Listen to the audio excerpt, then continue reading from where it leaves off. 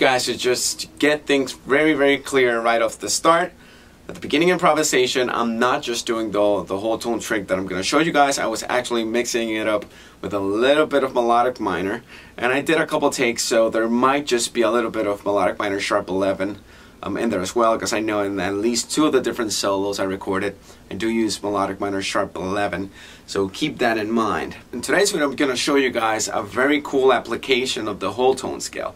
Now, if you've never heard of the whole tone scale, I already did a video on the whole tone scale. You can check it out right here. But essentially, it's just a scale composed of exactly that, whole tones. So when you take notes and you play them side by side, just leaving a whole tone in between all of them, you construct the whole tone scale. That's all that it is. It's a type of symmetrical scale. Now, the actual construction and intervallic construction of the whole tone scale is 1, 2, 3, sharp 4, sharp 5, and flat 7. What that means is that you can play it over a dominant chord, over a dominant um, sharp 11 chord, or, or over a dominant augmented, or dominant sharp 5, however you want to call it, um, type of chord. So that's usually the common use of the whole tone scale.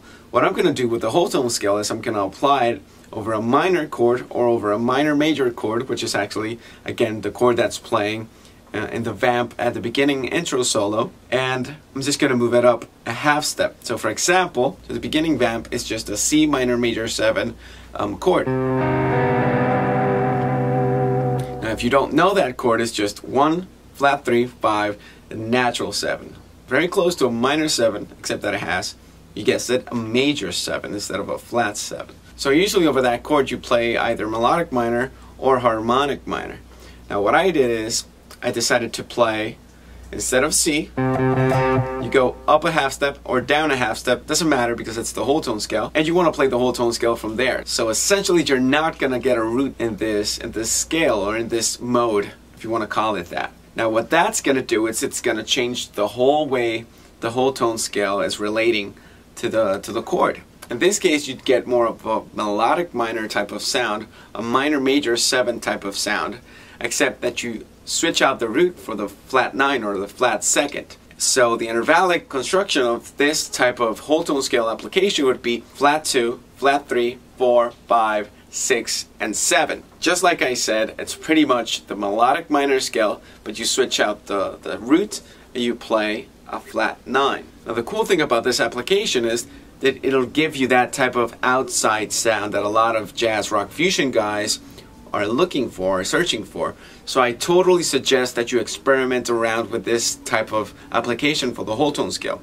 The whole tone scale in general is a very cool, very suspended, very augmented type of sound. But now with this application you can apply that type of symmetric approach or symmetric sound over a minor chord or over a minor major 7 chord. So it'll take you outside, it'll give you that symmetrical scale type of sound, but it'll all be over a minor type of chord. Now if you want to learn more about these type of things in a more personal type of approach, I actually offer online lessons through Skype. So you can go to my website juanantoniomusic.com and we can work on all of these types of concepts. You can also check out my video The Art of Scale Weaving which deals with mixing and matching all sorts of different scales over different um, chords. You can also check out my instructional box and 10 Modern Fusion Licks, which again deals with a lot of these different type of sounds. Now if you liked the video and think it was helpful, remember to subscribe, hit the like button below, comment below if you have any questions, and share it with everybody that you might think might enjoy this type of sound. Alright, thanks for watching.